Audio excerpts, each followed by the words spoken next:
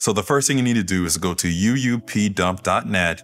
And when you go to the website there, I'll have the link in the description. You want to scroll down to find Windows 11 Insider Preview, and you want to select the AMD 64 version unless you need the ARM version for some reason or another, depending on the process you're using. But for most of you, it's going to be the AMD 64 version. Go ahead and click on that, and then choose your language of English, whatever your native language will be for this.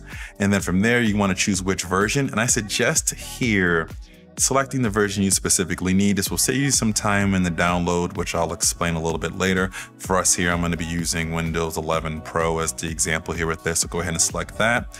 And then on the next page here, you're going to want to choose download to convert to ISO. This is going to make things a lot easier. So when you run the command, it's going to download everything. That's going to create the ISO and everything for you.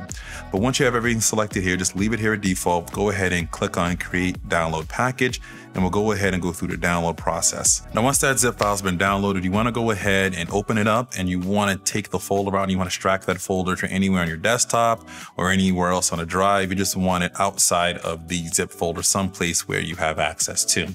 So once you have that set up there, you want to open up the folder. You'll see three different commands, one for Mac, one for Linux, and one for Windows. And in this instance, since I'm primarily a Windows user, we're going to use the Windows command here. So you want to go ahead and uh, right click and make sure to run as administrator UUP underscore download underscore Windows command.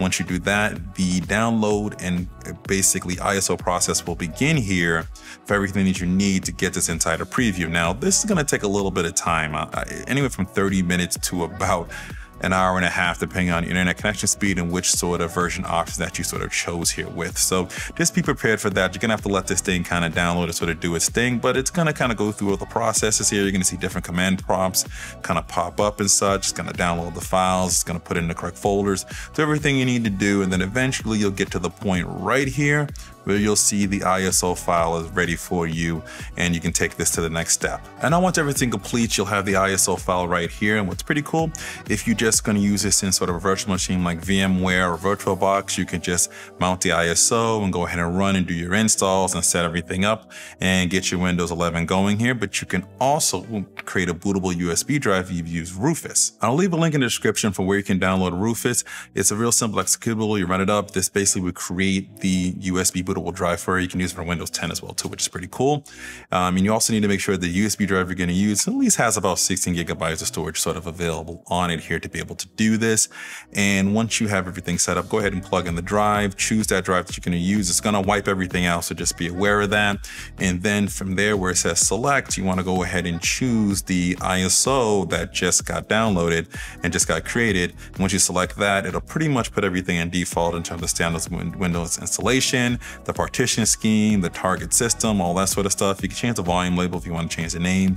It should keep the file system, everything else the same, and then just hit start and it will sort of begin the process of going through and creating this. Now, this could take some time depending upon the speed of your of your USB drive. I have like a little bit of a slower one here using USB 2.1 for a specific reason, which we'll talk about a little bit later. And it'll sort of go through the process of getting everything set up for the drive. Now, once everything is finished with Rufus, you should see the status of ready in a green bar. That means the USB drive is ready to go. You might get a prompt up here saying that the drive that you have here, you need to make sure the device that you're going to use it on doesn't have secure boot turned on. You're going to have to disable that by default. So just be aware that you may or may not need to do that. And if you have that turned on, on, you might need to configure some things. So just be aware of that there. But once you have that, you can just plug this into whatever device you're using and you should be able to boot up and you'll be able to install Windows 10 on the hardware of your choice.